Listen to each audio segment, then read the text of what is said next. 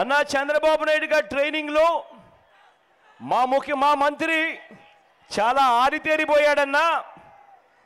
చంద్రబాబు నాయుడు గారి ట్రైనింగ్లో ఈ మంత్రి ఏ స్థాయికి ఎదిగిపోయాడు అని అంటే ఎన్నికలు వచ్చేసరికి దొంగల ముట్ట స్థావరాలు మార్చినట్టుగా స్థావరాలు మార్చేస్తాడన్నా.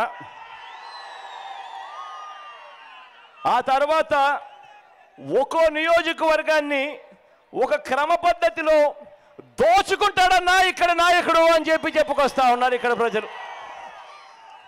ఇలా నియోజకవర్గాన్ని దోచేస్తాడు కాబట్టి మళ్ళీ అదే నియోజకవర్గంలో పోటీ చేసిన చరిత్ర ఈ నాయకుడికి లేదన్నా అని చెప్పి ఇక్కడ ప్రజలు చెప్పుకొస్తా ఉన్నారు. అన్నా ఇదే నియోజకవర్గం భీమిలి ఆనందపురం మధురవాడల్లోని తహసీల్దార్ ఆఫీసులో జరిగిన అక్రమాలపై ప్రజలు సాక్ష్యాధారాలతో సిట్ ముందు బారులు తీరాల్సిన పరిస్థితి ఇవాళ ఇదే నియోజకవర్గంలో వచ్చిందన్నా.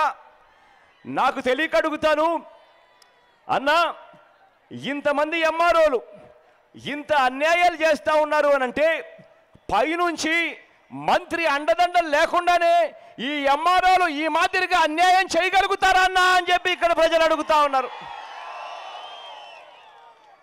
అన్నా ఇక్కడ పరిపాలన చూస్తే నిజంగా మాకు ఆశ్చర్యం అనిపిస్తుందన్నా.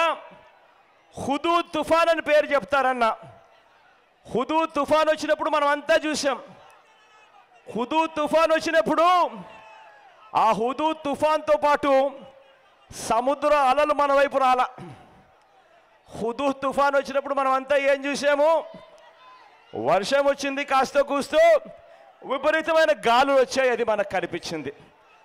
కానీ ఈ చంద్రబాబు నాయుడు గారి ప్రభుత్వం హుదూ తుఫాను కూడా వదిలిపెట్టలేదు. హుదూ తుఫాను వచ్చింది అని చెప్పి కారణం చూపించి ఏకంగా ఎంఆర్ఓ ఆఫీసులలో పదహారు వేలకు పైగా ఫీల్డ్ మెజర్మెంట్ బుక్కులు ఎఫ్ఎంబీలు మాయమైపోయాయని చెప్పారు. మూడు వందల డెబ్బై తొమ్మిది ఆర్ఎస్ఆర్లు అంటే రీసర్వే సెటిల్మెంట్ రిజిస్టర్లు మాయమైపోయాయని చెప్పారు. హుదూద్ తుఫాను కారణంగా చూపించి రెండు వందల ముప్పై మూడు మ్యాపులు మాయమైపోయాయని చెప్పి కట్టుకథలు చెప్పి ఏకంగా భూ రికార్డులన్నీ మార్చేసి దోచుకు తింటా ఉన్నారన్నా ఇక్కడ నాయకులు అని చెప్పుకొస్తా ఉన్నారు.